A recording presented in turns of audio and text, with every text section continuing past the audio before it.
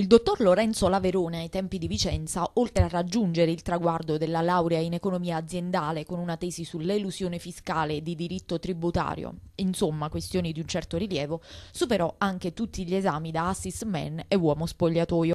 Fu così che tra il 2014 e il 2016 il dottor Laverone si innamorò di Vicenza e Vicenza di lui, un amore reciproco insomma coronato in 43 presenze nella stagione 2014-2015 25 nella successiva e tanto tantissimo attaccamento alla maglia.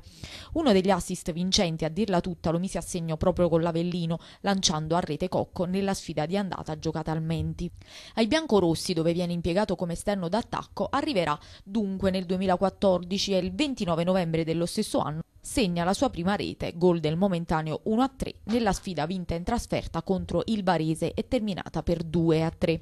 In quello stesso anno stabilisce quasi un record avendo giocato 41 partite su 42 in Serie B.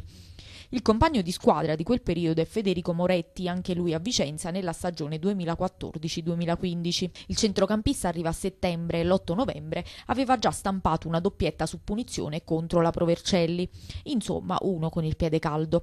Alla fine su 36 presenze metterà a segno ben 7 reti. Breve parentesi a latina e poi di nuovo in bianco-rosso l'11 gennaio del 2016, 21 presenze, 0 gol.